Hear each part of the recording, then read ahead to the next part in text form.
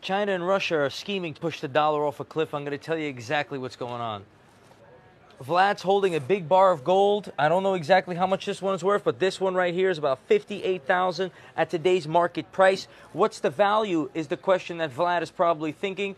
Uh, he bets it's a lot higher because he's up to $640 billion in gold stockpiled. That's a record. How's he getting the money? What is he doing and why?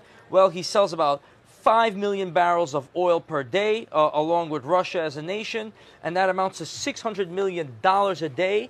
However, that's a problem because the Federal Reserve is printing money like crazy and devaluing all of his dollars. He's putting it into gold and he's teaming up with China and South Africa to push the dollar off a cliff and gold back to the gold reserve. That's their big plan. That's their big scheme. I don't know if it's going to work or not, but I'm going to be very careful because people are not being responsible. That's why I got gold heavy pieces and I'm doing my thing.